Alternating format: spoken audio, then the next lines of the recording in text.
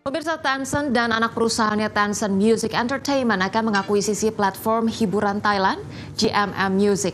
Tencent akan mengakuisisi 10% saham perusahaan tersebut senilai 70 juta dolar Amerika untuk memperkuat rencana spin-off mereka.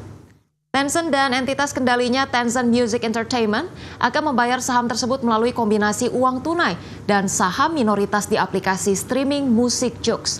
Kesepakatan tersebut yang bernilai 700 juta dolar bagi GMM Music terjadi hampir setahun setelah perusahaan induknya GMM Grammy menyetujui rencana untuk pemisahan unit musik tersebut dan mencatatkannya di Bursa Efek Thailand. Menurut GMM Music, investasi Tencent dan TME akan memperkuat rencana spin-off mereka seiring dengan persiapan penawaran umum perdana atau IPO yang akan datang. Kesepakatan ini juga memungkinkan GMM Music untuk memperluas bisnisnya, mencapai pertumbuhan berkelanjutan, dan investasi dalam inovasi musik masa depan untuk mengimbangi pesatnya evolusi industri musik global.